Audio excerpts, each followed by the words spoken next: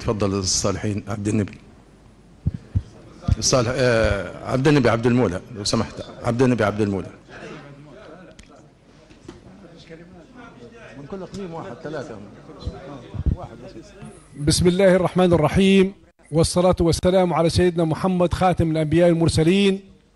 نرحب بسيد دولة الرئيس مجلس الأمة المصري والوفد المرافق له السادة السيد الرئيس والسادة الزملاء النواب نحن مهما تكلمنا وتحدثنا لا يمكن أن نوفي مصر التاريخ مصر العروبة مصر الحضارة لأنه فيها حقها في موقفها وتضحياتها من أجل لم شمل الأمة العربية بالكامل.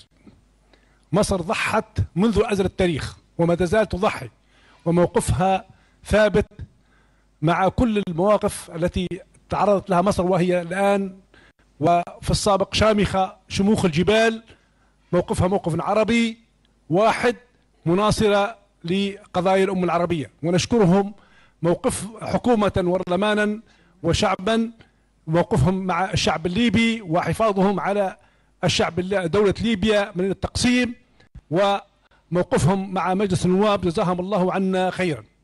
أود أن أنوه نقطة سيد الرئيس وأود من السيد رئيس مجلس النواب مصر أن يقف معنا كليبيين لدينا مواطن ليبي يتعرض إلى التعذيب والإهانة في دولة لبنان السيد هانيبال القذافي.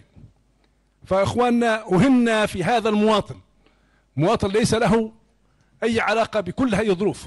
والآن يتعرض إلى التعذيب ويتعرض إلى الإهانة فنأمل من السادة حكومة وشعبا المصرية تدخل مع الحكومة اللبنانية لإنقاذ هذا المواطن وجزاكم الله عنا ألف خير وجزاكم الله شكرا. شكرا.